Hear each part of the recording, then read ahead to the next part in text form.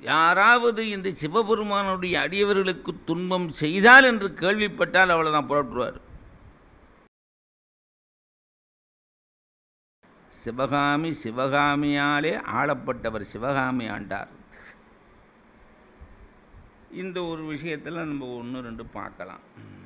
இப்போ பூ என்பது அலங்கார பொருளா அழகு சாதன பொருளா அல்லது ஒரு மனப்பொருளா எதற்காக நம்ம விரும்புகிறோம் பூவை?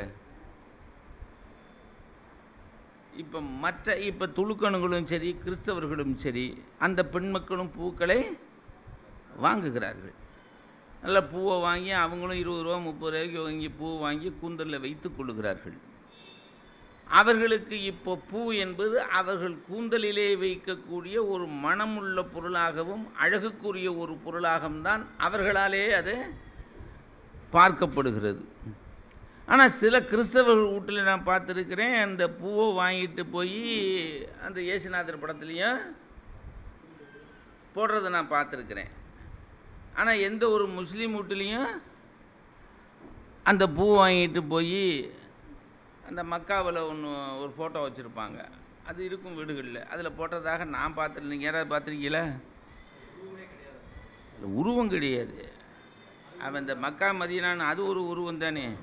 அது ஒரு அவங்கள்ட்ட கேட்க போனோம்னா அது அடிதடி தான் வரும். ஏன்டா இதையும் பார்த்துக்கிட்டு இதேண்டா ஒரு ஃபோட்டோ வச்சுக்கிட்டேன்னா அதுவும் ஒரு உருவம் தானே. என்ன?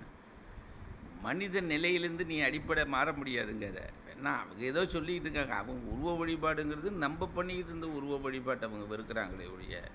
இப்போ அந்த மக்கா என்று சொல்லப்படுகின்ற ஒரு மொட்டையாக ஒரு அதில் ஒரு துணியை போற்றி அதில் நாலு மினார் வச்சுருக்கிறானே அது ஒரு உருவம் தான் அவங்கள பொறுத்த வரைக்கும். அந்த படத்தை தான் அவர்கள் போட்டிருக்கிறார்கள். அந்த படத்தில் இப்படி பூ மாலை போடுறதாக நான் பார்த்ததில்லை. ஆனால் சில கிறிஸ்தவ வீட்டுகளில் நான் பார்க்குறேன் அதை. அதில் ஒரு பெரிய விஷயமாக அவர்கள் இந்த பூவையும் மலரையும் எடுத்துக்கொள்வதில்லை ஆனால் நம்மளுக்கு அப்படி கிடையாது தெரியுமில்ல.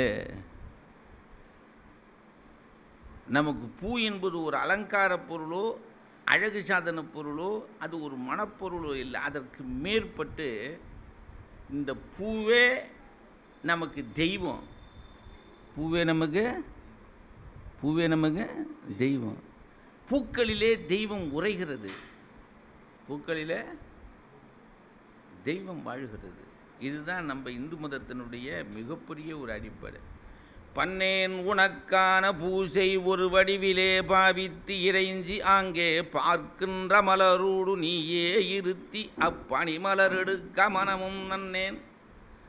அலாமல் இரு கைதான் குவிக்க எனில் நானும் என் குளம் நிற்றினி நான் கும்பிடும் போது அரை கும்பிடாதலால் பூசை செய்த முறையோ?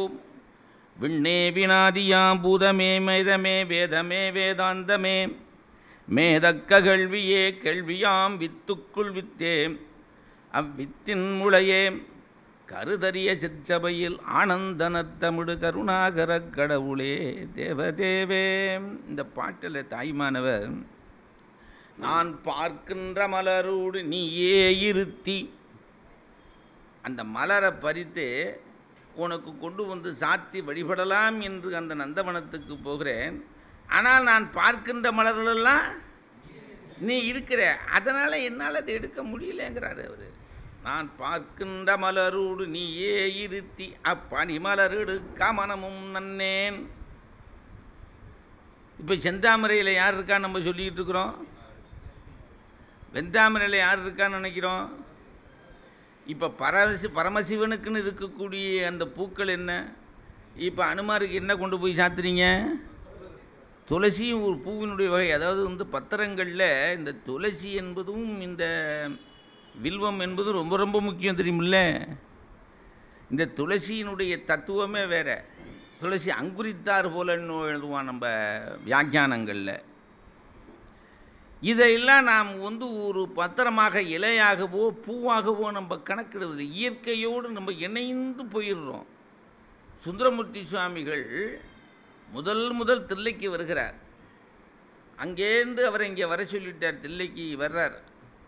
அப்படி தில்லைக்கு வரும்போது அந்த திருவீதிகளை கடந்து அவர் கோயிலுக்குள்ளே போகும்போது முன்னாடி நந்தவனங்கள் இருந்தனவாம் அவர் நின்று ஒவ்வொரு நந்தவனத்தையும் கும்பிட்டுக்கிட்டே போனாராம்.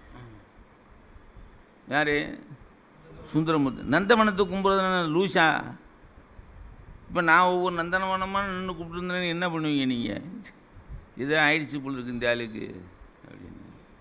என்ன பூக்கள் என்பது நம்மளை பொறுத்த வரைக்கும் சாதாரண விஷயங்கள் இல்லை. அது நந்தாவனம். நந்தவனம்னா என்ன அர்த்தம்? குறையாத வனம். நந்தா என்று சொன்னால் குறையாத வனம். பூக்கள் என்றைக்கும் அறாத குறையாத வனம் இருக்கும். அதனால் பூக்களை நாம் தெய்வமாகத்தான் மதிப்போம். இப்போ நான் கூட முந்தான திருவாரூரில் பேசும்போது அதை தான் சொன்னேன். ஏன்னா திருவாரூர் கோயிலுக்கே தியாகராஜர் சன்னதிக்கே பூங்கோயில்னு பேர். என்னது? பூங்கோயில்னு பேர். தியாகராசன் வேறு தியாகராஜர் வேறு. என்ன நீங்கள் பார்க்கலாம்? ஆனால் தியாகராஜரை பார்க்க முடியாது.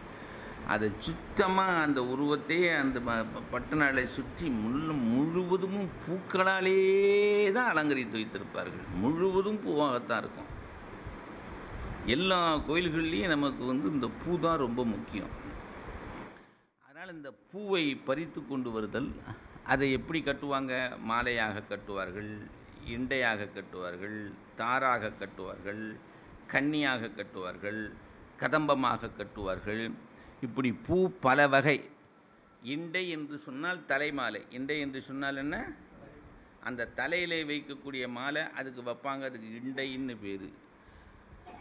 நம்ம சிவபெருமான் கூட சண்டேஸ்வர நாயனாருக்கு அந்த தன்னுடைய தலையிலே இருந்த அந்த மாலையை எடுத்து அவருடைய தலையிலே சுற்றினாராம் நாம் உண்பனவும் உடுப்பனவும் உமக்கு அதுதான் பதம்.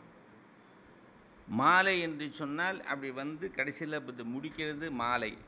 தார் என்று சொன்னால் முடிக்காமல் கீழே போட்டிருக்கிறது தார். கன்னி என்று சொன்னால் இப்போ பொக்கே. என்னது? கன்னி என்று சொன்னால் எப்படி? ஆ பூங்கொத்து. அதாவது வெத்துமா அப்படியே பூக்களை அடுக்கி நடுவில் ஒரு சின்ன ஒரு காம்பு வச்சு கட்டுறது கண்ணி. அப்படி இதெல்லாம் அழகாக செய்வார்கள்.